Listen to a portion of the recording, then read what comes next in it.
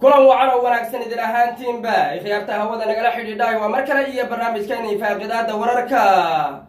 Qodobadaad wararkeena ku maqli doontaan waxaa ka mid a ra'iisul wasaaraha dalka etoobiya doctor abiy axmed ayaa digniintii ugu dambeysay la siiyey ayadoo ra'iisul wasaaraha dalka etoobiya doctor abiy axmed loo soo jeediyey laba daran mid un inuu doorto ayadoo barnaamijkeena si weyn aan ugu faaqidi doono. Sidoo kale madaxweynaha deegaanka tigray getajow reda ayaa ka hadlay eedeymaha isdaba jooga ee loo jeedinaya ciidamada t b lf inay ka dagaalameen gudaha dalka suudaan ay garabna siiyeen militariga dalkaasi. Sidoo kale deegaanka soomaalida waxaa ka soconaya kulamo xasaasi ah oo isla xisaabtan loogu magac daray iyadoo madaxweynaha deegaanka soomaalida mustafa maxamed cumar uu sheegay inuu si weyn ula xisaabtami doono ismaamul magaalooyinka iyo maayarada gobollada iyadoo sidoo kale urur goboleedka igaad ay socdaallo badan ku bixiyeen gudaha dowlad deegaanka soomaalida qodobada kale eed wararkeena ku maqli doontaana waxaa ka mid ah somalilan ayaa diyaarinaysa duulaankii ugu cuslaa oy doonayso inay ku qabsato laascaarood iyo gooja cadde. Iyadoo ciidamada somalilan ay dhoola tusyeys daba joog ah ay dhigayaan sheegeenna inay gooja cadde ay tegi doonaan. Dharaayo ciidan oo ballaaran ayay sidoo kale samaynayaan xoogaga s a c. Dowladda soomaaliya ayaa guulo waaweyn sheeganaysa oo xoogaga argagixisada ay ku qaaday dagaaladii ugu dambeeya ka dhacay gobollada soomaaliya iyo deegaano badan oo koonfurta iyo militariga soomaaliya ay sheegeen inay madax sarsare quudha kaga jareen iyadoo xaaladda siyaasadeed dalka soomaaliya ay aada u adag tahay. Qodobadaas iyo qodobo kaloo faah-faahsan ayaa warkeena ku eegaynaa barnaamijka waxaa igala qaybgalaya saaxiibkay gooni.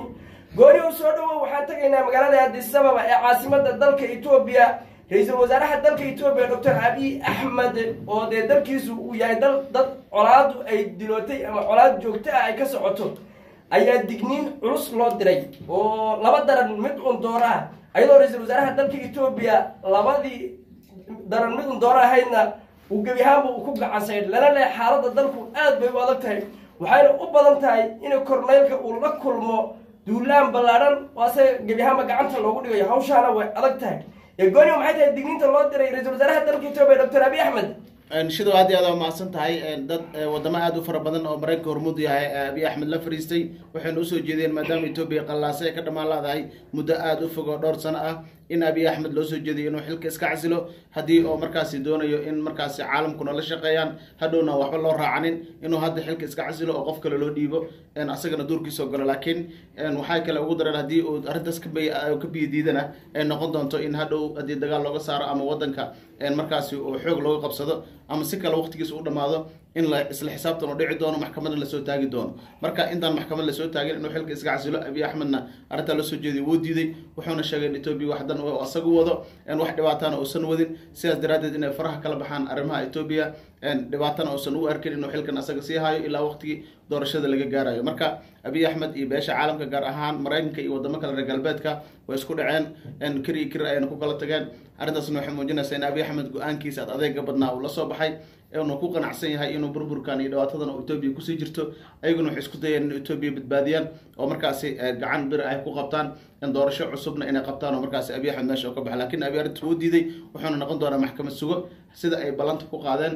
Haddii markaasi xilka uu ka dego ama dagaal looga saaro ama doorasho ha uga baxee haddii lacal uu ka baxo meeshaas in maxkamad heeg looga yeeri doono uuna maxkamad suga yahay. Marka halkaas ay ku kala tageen abiy axmed wuxuu ku adkaysanaaba inuusan weligiisba ka degaynin doorashona uusan qabanaynin uuna iska haysan doono meeshan gooni waad mahadsantahay dhawaan waxaan ogeyn safiirka dalka maraykanka ama aan dhaho safaaradda dalka maraykanka ee ku taalla magaalada asaba caasimada dalka etoobiya in ay baahisay in ra'iisul wasaaraha dalka etoobiya doctor abiy axmed uu xilki iskaga dado si dalka loo badbaadiyo arrintaasi oo waaga markaasi uu ra'iisul wasaaruhu uu xanaaq badan ka muujiyey mala dhihi karaa reer galbeedku inay weli daba taagan yihiin ayna ka quusanin inay abiy axmed ku qanciyaan inuu xilka iskaga dago iscasilo. Saas waaye kamay quusanin ilaa hadda way daba taagan yihiin laakiin waxaa la isku haya waxay tahay abiy axmed waa nin askari ah waa nin xilka hal mar asagoo askari ku soo booday sidaas daraaddeed sida uga dego ama uga baxo way adag tahay waxaana dhibaato ay ku noqon karta dalka etoobiya gaar ahaan boqol iyo labaatanka milyan ee dhibaatada iyo baahida iyo burburka iyo dagaalada iyo abaaraha ay markaasi saameeyeen. Arrintaas marka waxay muujinaysaa in marna aysan rajo laga qabin in abiy axmed si fudud meesha kaga tago in dagaal looga saaro ama in waktigu asaga rabo doorasho in la gaaro. Ka hor moogiye ma doonayo ilaa muddo lix sano toddoba sano ku sii dhow ayuu xilka hayaa. Haddana wuxuu rajeynaya inaa lix sano ama toban sano oo kale inuu xilkan iska sii haysto. Ciddii ka hortimaadana oo dhagaha ku dhifto. Halkaas ayay xaaladda maraysaa. Tigrayga gooni u xanaaqsan yihiin oo ayagu waxay doonayaan xilka la wareegaan oola nimanka la yiraahdo waxay leeyihiin ninkana ma anfacayo dhulkeenina wuu gacantu ka bixiyey nimankan kale ayagana sidoo kale u qaylinayaan oo faano waa aragtay oo gudaha magaalada dhisabee laba jeer ka dagaalameen. Haddana waxay ku adkaysaneen dagaal sii wadi doonaan. Marka etoobiya way kala socotaa islamana socoto waxaana caalamku markaas ay sii muujinayaan sida etoobiya u kala tagta uun inay noqon doonto. Abiy axmedna meel cilla soo istaagi doono. Wuu mahadsan yahay gooni daawadeel xaaladda etoobiya marba marka ka dambeysa way ka sii daraysaa korneylkiina waa lagu dhegan yahay dalalkii reer galbeedka seebta ayay galka kala baxeen. Waxaynana leeyihiin abiyow laba daran mid un dooro inaad noqoto nin maxkamad sugaaha oo goortay ahaataba ee xilka lagaa xayuubiya ama gebi ahaanba xukunka uu gacantaada ka baxo. Inay maxkamadda heeg si toosa lagu horgeyn doono qalinka ku dug aduguna gacantaada ku saxiix.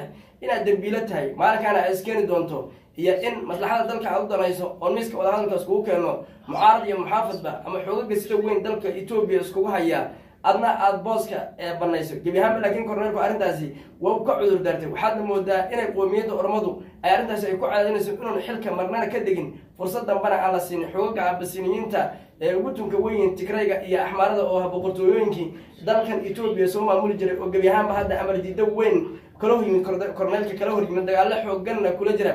Ayadoo la leeyahay xoogaga tigray hadda waxaa dhaqaalo badan siiyey dowladda maraykanka ayaa siisay dagaalkan ay wadaan ay ku doonayaan inay gobolka raaya ay ku qabsadaan iyo deegaanada walqeytan ee gacanta eritriyaanka iyo axmaaradan isbahaysata ay ku hayaanna inay xoog awood military ku qabsadaan. Markay arrintaasi qabsadaanna inay u jahaystaan dhanka iyo adisaba maadaama militariga dalka etoobiya uu wiiqmay xoogaga faarana uu hadda dagaal kula jiro dagaalkan un wax guul ah ka dhalan tigray oon ogsoonahay labadii sane ee dagaalka xoogan ay kula jireen dowladda etoobiya isbahaysyadii la dagaalamayay inay si weyn iskaga caabiyeen oo axmaaradan aadka u tirada badan ama afartanka milyan lagu sheegay soddon iyo shan milyan gaaraysa ay dowladda etoobiya garab ku siinaysa. Qoominaha etoobiya oo dhan oo markaas u ceeli qabay tigrayga nabaradii ay geysteen labaatan iyo toddoba sana ay sii muuqatay nin walbana uu islahaa tigray ka soo aargooso ayaad u weyd guuldaradii soo hoyday. Etoobiya boqol milyan intay tigray ku duushay.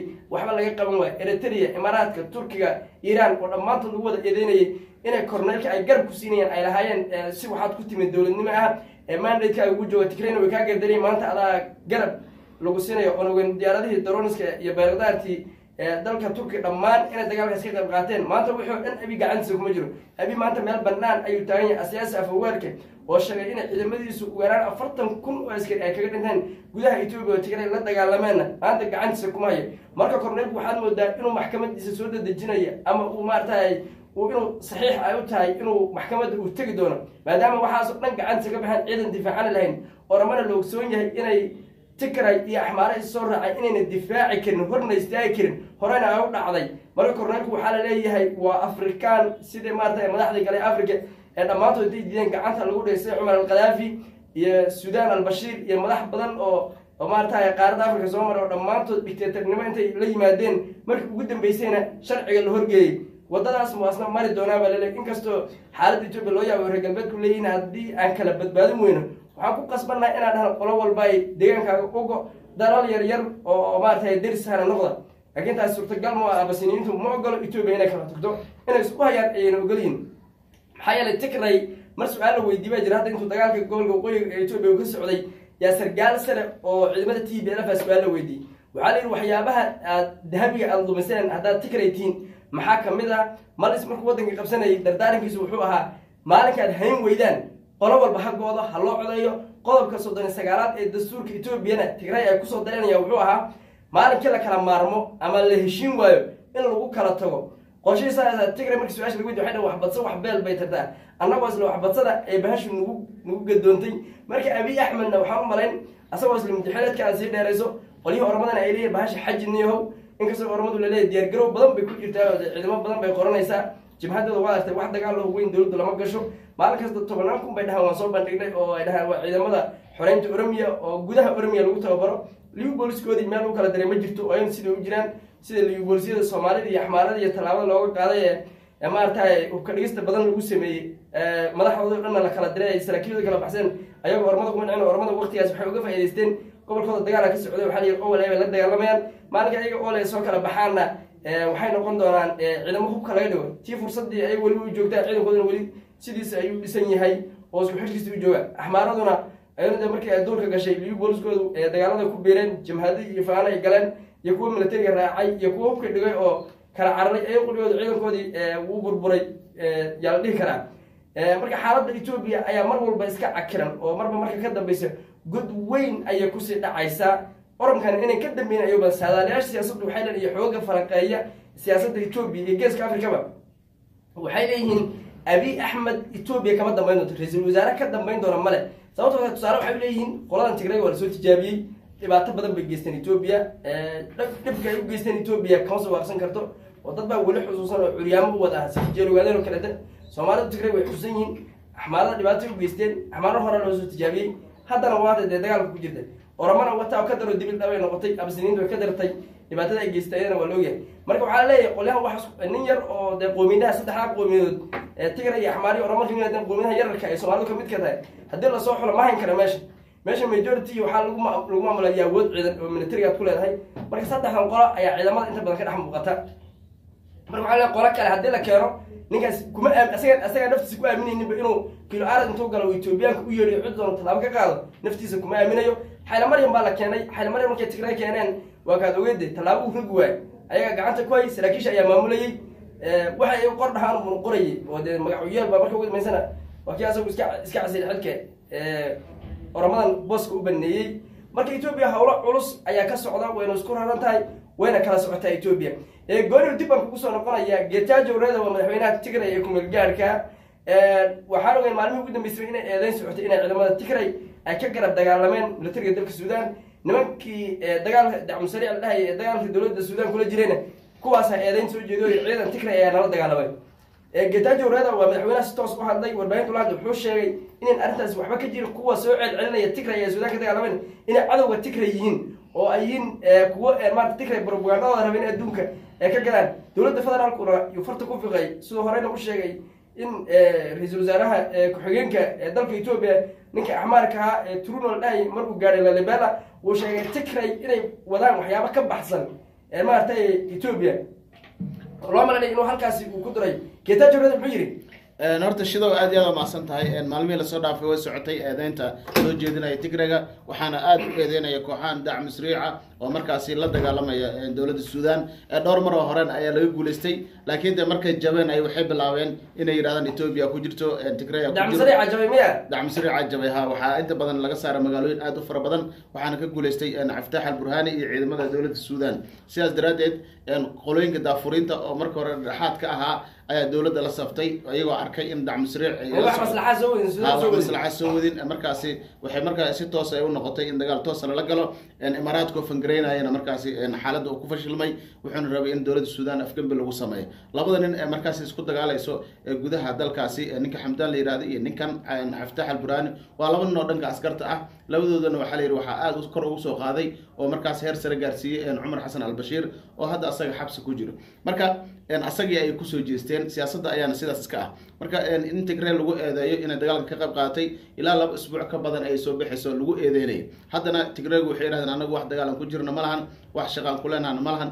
Annaga annagaa taynan haysataa oo dhinac faana naga haysataa. Dhinac waxaa naga haysto nimanka yihahdo elitaria naga fadhido oo dhulkeena haysato. Dhinac dowladda etoobiya nooga kacsan oo hadda heshiiskeeni uu fashilmay.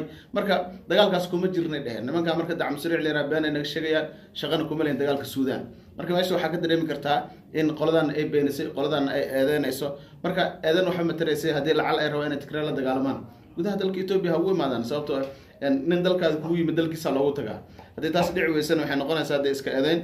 Arrimahan inta badanna mucaaradada ka jiro sida libiya iyo maxaa la yihahda ciraaq iyo wadamadan inta badan dhibaatada iran iyo reer galbeedka iyo waddamada kasta oo mucaarad ah waxaa lagu ku leh wadamo kale marka wadamadaas hadda suudaan oo kale waxaa lagu ku leh nimanka la yihahdo imaaraadka carabta oo dhaqaalo ku bixiya marka dhaqaalahaasna waa ku fashilma qatar dowlado kale oo qaliijka ah inta badan markii mucaarad meel ka dhasho dhowr dowladood oo mucaaradadaas doonayo ayaa jira.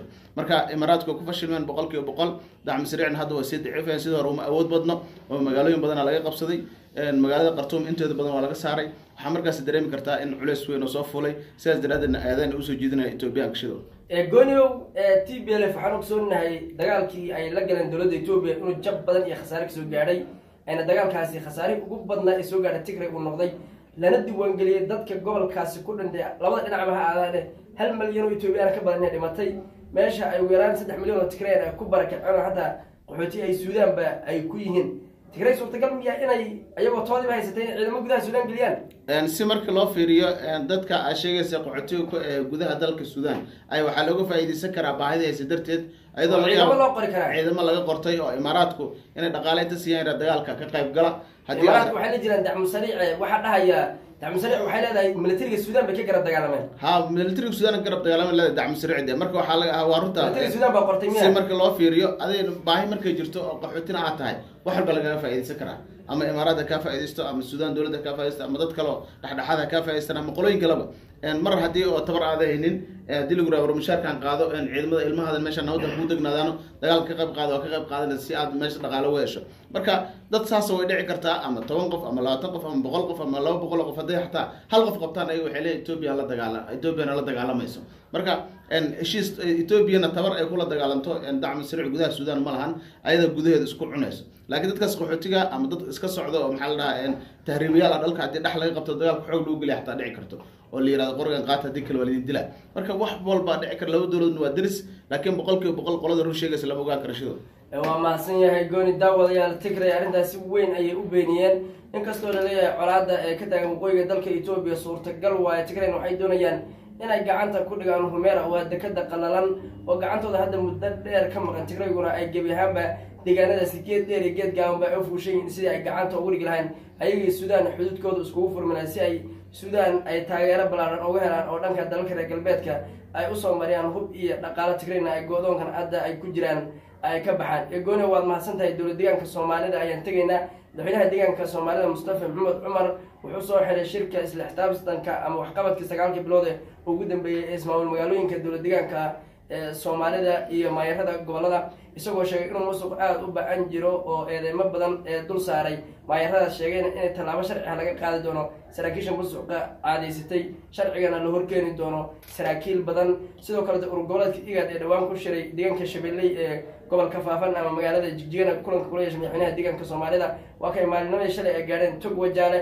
Halkaana ay biyogelinta laga sameynaya ay booqdeen. Ayagoo shirka igad uu ku saabsanaa ka faa-iidaysiga biyaha dhulka hoostooda mara. Inkastoo ayna dowladda soomaaliya ayna ka mid ahayn haddana saraakiil badan oo urgoleedka igad oo dalalka ka socda urgoleedka igad ku midaysan ayaa halkaasi tegay sidoo kaleet halkaas waxyaabaha xusuuda mudan waxaa waye in maamulka somalilan saraakiil ka socda uu hogaaminaya wasiirka arrimaha gudaha inay halkaasi ay kula kulmeen madaxdii halkaasi timid urgoleedka igad ayadoo saraakiil ethoobiyan ah ay halkaasi ayadana wasiirka arrimaha gudaha ay shir kula qaateen sidoo kale madaxweynaha deegaanka soomaalida mustafa maxamed cumar iyo wasiirka arrimaha gudaha maamulka somalilan ayaa halkaasi warbaahinta kula wada hadlay waxayna ka hadleen sidii xiriir wanaagsan loo sameyn lahaa dalalkuna isdhexgal integration wax loo yaqaana loo sameyn lahaa. Aduse kastoo aataba geeska africa ee dharaaqyo ayaa ka soco siyaasadeed oo lagu doonaya in biyaha laga wada faa-iideysto waxaan tegaynaa dhanka iyo waqooyiga soomaaliya. Maamulka somalilan waxay soo bandhigeen kumanaan kun oo ciidan ah oo la sheegay inay sideed iyo tobanka may ay xusi doonaan. Laakiin waxyaabaha la yaab kale waxaa warbaahinta waxay weydiinaysay ma laga yaabaa inaad gooja cadda aad ku dabaaldegtaan xuskan xusi ka horreeya inaad xaggaa joogteen. Ha waxay dhaheen waan tegaynaa waana u soconnaa. Saacad kasta ayaana duulaan qaadi doona meesha ay s inayuna si weyn isu diyaarinayso maxaan ogsoonahay gooni dharaagada halkaas ka socda. Arrintaasi shidow somalilan waa ka been sheegaysaa maadaama aysan awood u lahayn sideed tobanka mayna ay wax yar un keliya ay ka hareen oo markaasi isbuuc iyo wax yar oo aan ka badnayn inay ka hareen ayaa muuqato. Taas marka waxay ku fashilmeen oo ceeb ay ku tahay nimanka la somalilan. Dhowr maroo hore sheegeen inay dagaal ku qaadi doonaan magaalada laascanood wayna ku fashilmeen. Hadda marka ciidamada inay dhooltus sameeyaan iyo inay sii la dagaalamaan iskuma keeni karaan. Ciidamada jidda hore ee oog iyo boqdharkeen iyo qorlugud ku sugnaa dhammaantood in yaroo difaaca marka laga reebo waxaa loo qaaday magaalada hargeysa iyo burco halkaasoo ay rabaan infantasiyo ama ay ku soo bandhigaan dhoolatus military oo markaasi ugu talagaleen sideed iyo tobanka may. Marka bandhigaas ayay ku mashquulsan yihiin sideed iyo tobanka may wax ka horeyna dagaal ma qaadi doonaan. Wararku waxay sheegayaan in labada juun ee markaasi dagaalkooda iyo wixii ka dambeeya inuu ahaan doono.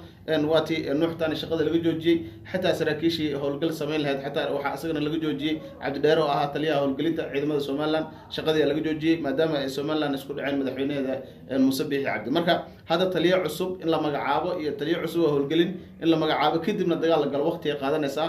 Umana eko wax beri beri dambe noqon doono.